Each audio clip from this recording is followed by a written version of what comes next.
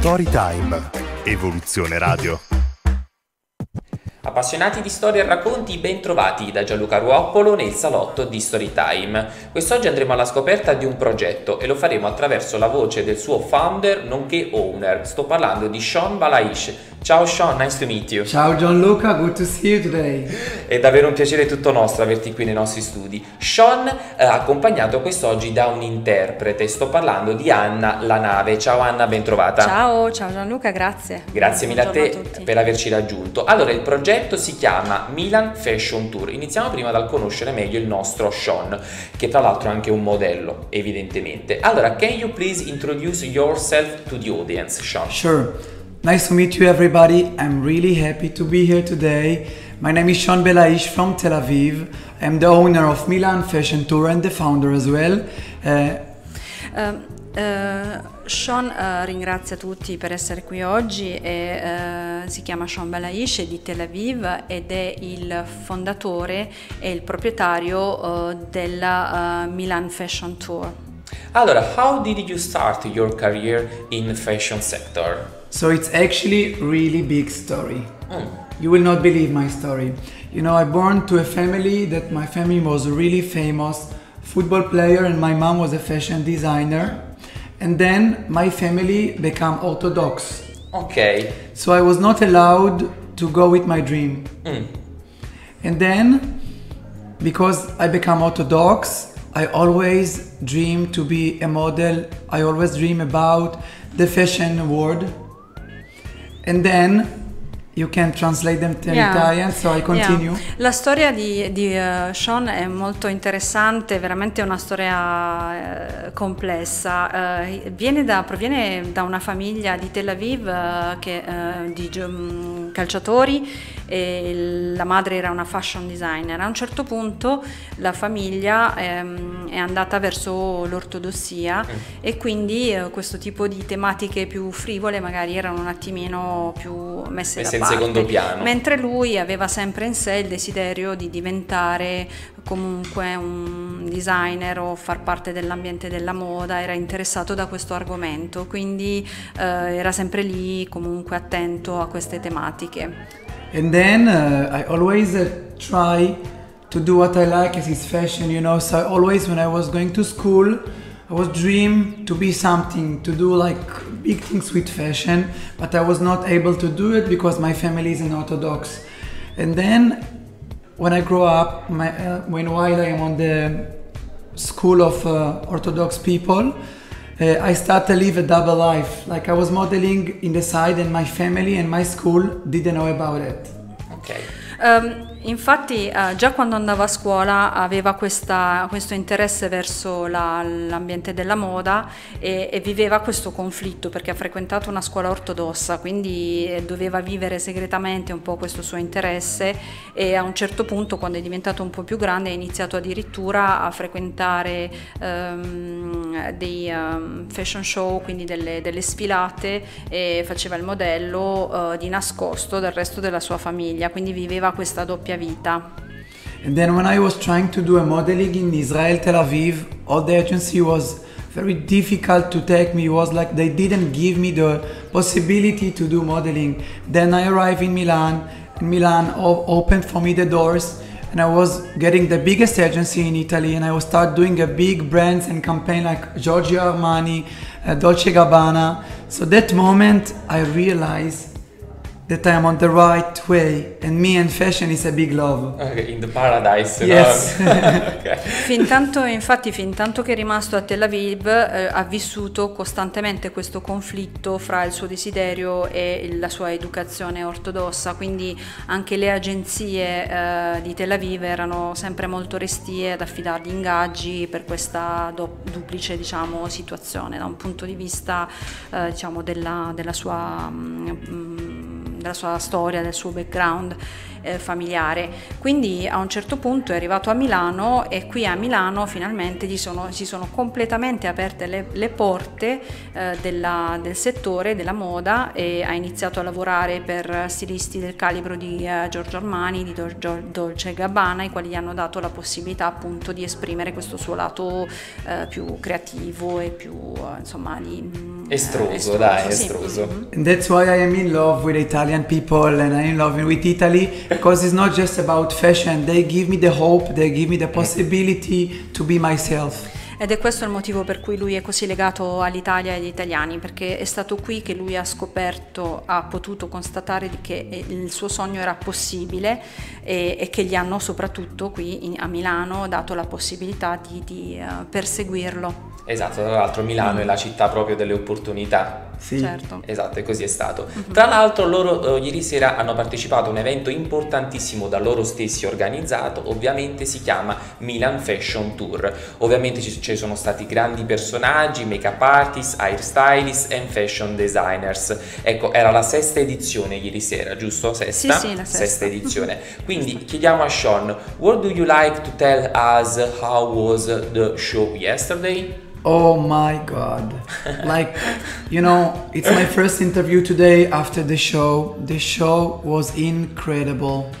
It was amazing. Uh, we didn't accept so many people, but we have more than 700 guests at the show. It was huge, and we have uh, big celebrities from Tel Aviv. Also, we have Rafaela Fico at the show. We have top models, and we have a lot of important guests from Camera della Moda, Vogue, and all the biggest agency was in our show, so it was fantastic. Fantastic. Quindi sì, eh, beh, lo show è stato fantastico, è stata una situazione veramente molto bella, c'erano oltre 700 partecipanti, eh, ospiti invitati alla, alla, sfilata, si trattata di una sfilata a cui hanno partecipato anche delle celebrità provenienti da Tel Aviv, eh, italiane, eh, c'era Raffaella Fico, c'erano rappresentanti della Camera della Moda, di Vogue, quindi veramente veramente una situazione emozionante. Questa oltretutto è la prima intervista che lui fa dopo lo show e quindi è ancora nella scia della, della, del piacere, dell'adrenalina. No? Sì. Yes. Okay. And then uh, it was great because uh, each time when we are doing the shows, more people are coming and the support is amazing. So it makes me like know that I'm on the right way and I'm really happy about it. My voice is a little bit, you know, after yesterday, but it was really amazing. Fantastic. Quando si riceve questo tipo di riscontro da parte del pubblico con la presenza e l'entusiasmo, eh, si, eh, ci si convince che si è appunto sulla giusta strada no? per raggiungere e perseguire i propri desideri, i propri sogni. Poi ero talmente entusiasta ieri che oggi ho una voce rauca, un po' bassa, sono ancora un po' eh, diciamo eh, provato. And then, all the we have a, all celebrities also in the show they came from tel aviv from miami mm. we all stay at nick's hotel in a one big group mm. with all the team i have like 100 people come all the way from tel aviv for this show Ah, bello. Fra gli ospiti c'erano anche persone che venivano da Miami oltre che da Tel Aviv in Israele. Pensate che soltanto da Tel Aviv arrivavano oltre 100 persone in massa solo per partecipare a questo show, quindi veramente una partecipazione incredibile. Complimenti. Allora, sono stati trattati ovviamente temi a, a cari ovviamente al nostro Sean, come ovviamente eh, la non violenza sulle donne, la non discriminazione, l'uguaglianza di genere, ma anche temi legati alla LGBTQT+. Quindi vorrei chiederti Sean, what is your message to the audience in this sense? The most important mm. at this moment, you know, my message to the world that fashion connect everyone. Mm. we are not thinking about politica. We're not talking about uh, where you're from or what are you doing. You know fashion connect everybody. So the show was connected people from israel from uh, palestine muslims jewish transgender everyone living in peace together in one project. So my message is that milan fashion tour is for everybody who have a dream. And fashion connect all of us to live in peace and love Uh, il messaggio che mm, desidera dare è che eh, la moda è un strumento per unire i popoli indipendentemente dalla loro provenienza geografica, dal loro credo religioso, dal sesso, eccetera. Eh, la moda modo, ah, mette eh, in connessione persone che hanno stessi interessi, stessi sogni e fanno insieme, creano uno show, una, una sfilata dove tutti sono liberi di esprimersi eh, senza costrizioni di, su visioni dovute a visioni politiche, religiose. So, eh, ieri c'erano insieme eh, musulmani, ebrei, eh, cattolici, eh, transgender, eh, gente che proveniva da altre nazionalità, quindi veramente questo è il messaggio che dà la moda. La moda è unione dei popoli indipendentemente dalle caratteristiche dei singoli. Esatto, la moda è anche l'arte che unisce. And the most important things about the project that we connect everyone and the project if you have a dream you can be part of it.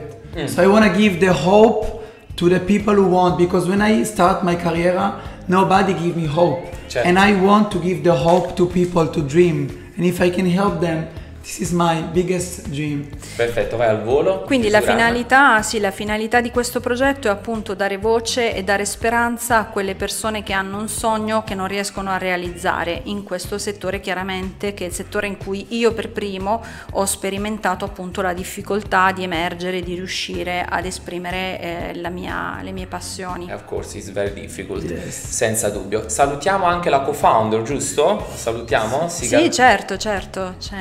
Sigal man? Sigal is uh, the part, uh, you know, woman is everything in our life. Okay. So she's uh, the other team and she's amazing. And one more important thing also, we have the magazine of Milan Fashion Tour that we print each time, each project, 100,000 copies. And it's by editing by the Vogue editor of Chris. Okay. And all the project that is one week will be on the magazine. It will be in Tel Aviv, Dubai and Italy. Ok, okay uh, sì, sicuramente presentiamo la Sigal Mann che è la cofondatrice del, del Milano, Milan Fashion Tour e lei è uh, la parte femminile di questo progetto, le donne sono tutto nella nostra vita solo, e lei è sicuramente un membro importante nostra, del nostro team. Um, inoltre um, noi stampiamo anche una versione del una, un formato magazine, un, sì, una rivista del progetto ogni anno e quest'anno si è tenuto a Milano uh, e um, viene mm, pubblicato appunto uh, da Vogue, dal, dalla casa editrice Vogue e in oltre 100.000 copie per ogni edizione, quindi veramente una, una produzione importante e anche è stata pubblicata chiaramente anche la versione di quando si è tenuto il, l'evento. l'evento. a Dubai e a Tel Aviv, anche lì abbiamo pubblicato questa, questa rivista. Mm. Benissimo, che dire, quest'oggi dunque siamo andati alla scoperta di questo meraviglioso progetto Milan Fashion Tour, presentato quest'oggi dal suo fondatore nonché proprietario, il qui presente Sean Balaish. Sean, un saluto e alla prossima. Grazie Gianluca. È stato stato un enorme grazie. piacere. Grazie, grazie. Ciao, my dear. È stato un piacere. Ciao a tutti. Storytime. Evoluzione Radio.